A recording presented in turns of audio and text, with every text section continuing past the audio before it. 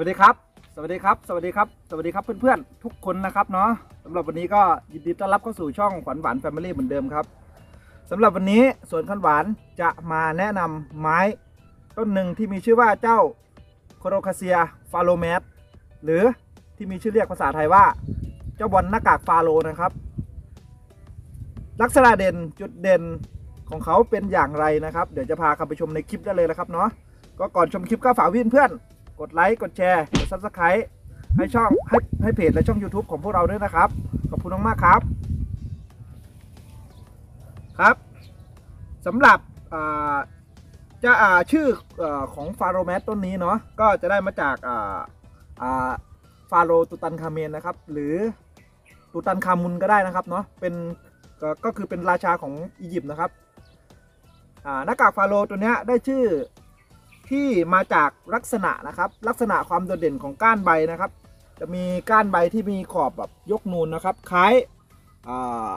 หน้ากากที่ครอบส่วนบนของของลำตัว หรือส่วนหัวของศพเขาเรียกว่านั่นแหละครับศพตุตันคาเมน หรือฟาโรห์แห่งอียิปต์นะครับ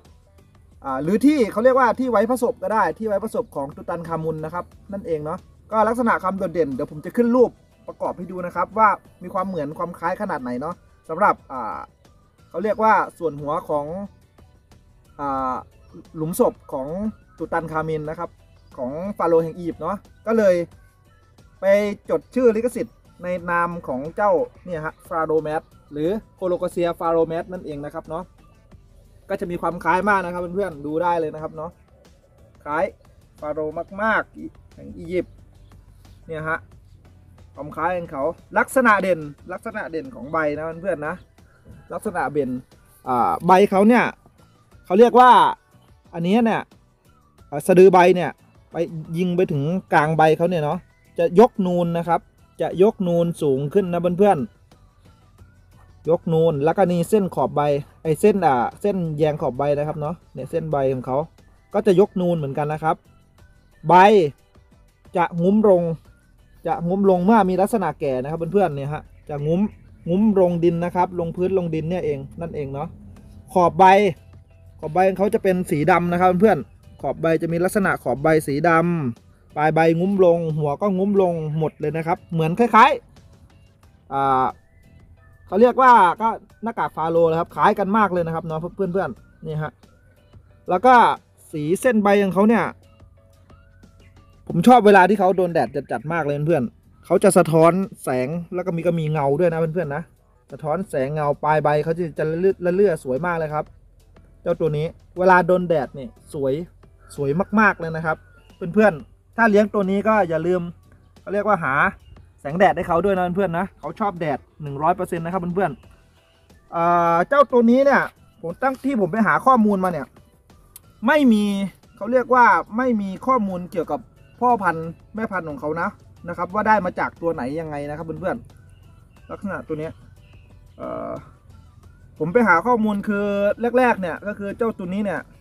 เป็นเป็นเป็นไม้ที่มีลิขสิทธิ์เลยนะครับ ตัวนี้เป็นไม้ที่มีเจ้าของเลยครับ ห้ามผสมห้ามอะไรเลยนะครับจะปลูกได้นะครับ เมื่อก่อนแต่ตัวนี้ก็ไม่มีแล้วนะฮะสามารถปลูกเลี้ยงหรือผสมได้แล้วนะเพื่อนๆเนี่ยเจ้าตัวนี้ใบเนี่ยเวลาต้องพาทิตย์นี่เขาจะสวยมากเลยนะเพื่อน มีความเงาชอบแดดจัดอ่าสำหรับตัวนี้ก็เป็นโคโลกาเซียเหมือนทุกตัวครับ มีลักษณะอีกอย่างหนึ่งก็คือเขาจะชอบน้ำเป็นพิเศษ พยายามอย่าให้ดินเขาแห้งนะครับเพื่อนๆถ้าเลี้ยงดินร้อยเปอร์เซ็นแบบผมนะอย่าให้อย่าให้อย่าให้ดินแห้งครับ อะ มาดูคอใบกัน คอใบ นี่ฮะ นี่ฮะ จะงอและดำ ก้านใบเขาก็จะดำนะเพื่อนๆดำมากเลย แล้วผมจะให้ดูตอนต้องแสงแดดครับ ดูครับ ดูข้างหลังตอนต้องแสงแดด เห็นไหมครับเพื่อนๆนี่ฮะเห็นไหมครับ จะออกแบบแดงๆม่วงๆเลยนะเพื่อนๆอมม่วงอมแดงนะครับเนี่ยตัวเนี้ยนี่ฮะเวลาไม่โดนแดดเห็นไหมนี่ฮะเวลาโดนแดด ความสวยของเขานี่แบบจะแวววับเลยนะครับ สีม่วงอมม่วงอมแดงมาทันทีเลยนะเวลาไม่โดนแดดก็เป็นสีดำนะเพื่อนๆกานใบเขาก็นี่ส่วนนี้เพื่อนๆหลายคนก็ยังเรียกผิดไม่ใช่ลำต้นนะครับ ไม่ใช่ลำต้นเป็นก้านใบของเขานะเพื่อนๆ เป็นก้านใบ เป็นก้านใบของเจ้าตัวนี้ไม่มีลำต้นนะครับ ส่วนส่วนอ่าเง่าหัวของเขาเนี่ยจะอยู่ใต้พื้นดินนะเพื่อนๆนั่นนี่ฮะคอใบลำต้นก็นี่แหละครับ ลักษณะแล้วตัวนี้เนี่ยเขาจะออกลูกเป็นไหลนะเพื่อนโพลคาเซียฟาโลแมตออกลูกเป็นไหลนะครับนี่ฮะถามว่าจะมีหน่อไหมเป็นไปได้นะครับ เป็นไปได้ มีมีอาจจะมีแต่ไม่เยอะ แต่ส่วนมากจะออกลูกเป็นไหลนะฮะ จะเห็นไหลของเขา เจ้าตัวนี้ก็มีหลายไหลเลยหนึ่งสองสามสี่ห้าหกน่าจะมีอีกใต้ดินอีกอะเพื่อนๆที่ยังไม่โผล่นะ ทีนี้นี่ฮะเดี๋ยววันนี้ผมจะเอาไปชำชำด้วยนะ เดี๋ยวจะตัดไปชำด้วยนี่ฮะ อันนี้ก็เป็นเนี่ยครับลักลักษณะเด่นของไม้ที่มีไหลแล้วเพื่อนๆเลี้ยงแบบแบบแบบเขาเรียกว่าดินกว้างๆอะเป็นหรือกระถางกว้างๆก็ได้นะเพื่อน เพื่อนๆเราไม่ต้องล่อลากเขานะเพื่อนๆเนี่ย เห็นไหมลากเขาจะหยั่งลงพื้นดินอย่างเงี้ยเราไม่ต้องล่อล่อลากให้ยุ่งวุ่นวายเลยนะครับเพื่อนๆตัดแล้วก็ไปชำได้ปกติเลยนะตัวนี้นี่ฮะกบไว้เดี๋ยววันนี้เราจะเราจะมาตัดไปชำอีกหนึ่งต้นนะฮะนี่ครับฟาโล ดูไหลอย่าทุกคลิปนะครับ ผมจะบอกเสมอนะครับว่าไม้ไหล ไหลบางคนเขาก็จะเรียกว่าภาษาอังกฤษก็คือแบบเขาเรียกว่าสโตรอนนะครับ หรือรันเนอร์ก็ได้นะครับ มันก็ความหมายเดียวกันเนาะไอ้เจ้าตัวเนี้ยถ้าเราตัดตรงเนี้ยชึบเนี่ยตรงนี้ก็คือไม้ปลายไหล หรือหน่อก็ได้นะครับ แต่ไอ้พวกแบ่งพวกอย่างเงี้ยนะจะเป็นข้อไหลนะครับ ข้อไหลข้อตาก็ได้นะเพื่อนเขาจะมีไม้เขาจะมีเขาเรียกว่าไหลหนึ่งไหลเนี่ยจะมีข้อข้อไหลเนี่ยเยอะนะครับ สามารถเอาไปชำได้นะครับ แต่ผมทำคลิปอ่าไม้ปลายไหลไว้แล้วนะไม้ที่เป็นไหลไว้แล้วว่าผมจะทำยังไงนะครับ ผมจะตัดอย่างนี้นะเพื่อน แล้วร้อยเขาแตงออกมา ผมถึงจะย้ายไปปลูกนะครับ ผมเนาะผมจะไม่เอาไปอบชำเลยนะครับ ผมจะไม่ทำอย่างนั้นนะครับ เพราะว่าลดเสี่ยงการเน่าด้วย ผมจะให้แม่เขาช่วยเลี้ยงก่อนนะเพื่อนๆผมจะให้แม่เขาช่วยเลี้ยงก่อน และอีกอย่างหนึ่งเพื่อนๆอะเพื่อนๆเห็นอะไรอะไรไหมครับเนี่ย ช่วงนี้ลมแรงนะครับ การค้ำไม้ ผมจะแนะนำให้เพื่อนๆค้ำแบบนี้นะครับค้ำแบบนี้ เพราะอะไรนะครับเพื่อนๆบางคนเนี่ยเนี่ย ผมเอาไปเลยนะเนี่ยปึ๊บ